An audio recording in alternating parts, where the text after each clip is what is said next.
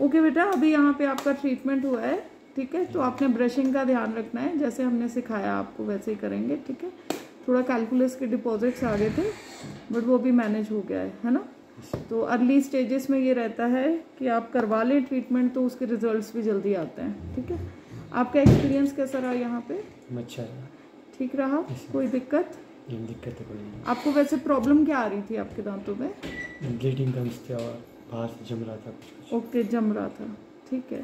तो जब first time हुआ था ट्रीटमेंट तो पेनफुल रहा था? थोड़ा ठीक है और अभी ठीक है? तो आपको खुद फ़र्क महसूस हो रहा है इलाज से? आज तो ये थी पहले शिमला भी गए थे शायद आप है ना? हाँ तो वहाँ पे क्या बताया था उन्होंने? वहाँ पे बोला था कि काफ़ी टाइम लगेगा लंबी सीटिंग में तीन चार एक हफ़्ते आना पड़ेगा बार बार। हम्म हम्म हम्म तो फिर यहीं पे किया करके नज़दीक भी था तो। कुछ फ़ायदा लगा आपको? जी फ़ायदा। ठीक है are you satisfied with the treatment ठीक है क्योंकि सरकारी अस्पताल में हम कोशिश करते हैं कि जितना यंगस्टर्स को मोटिवेट कर पाएँ क्योंकि लोग केयरलेस होते हैं ना दांतों के प्रति। तो थोड़ा आपने ध्यान रखना ब्रशिंग पे ध्यान रखो थोड़ा जब भी खाना खाएँ तब ब्रश करो ठीक है? थोड़ा हम आपका फीडबैक ले रहे हैं ताकि दूसरे लोगों को भी आपकी तरह ही फ़ायदा हो सके है ना?